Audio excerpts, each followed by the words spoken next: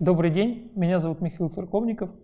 Э, в этой мини-лекции мы поговорим с вами о соглашении о возмещении потерь.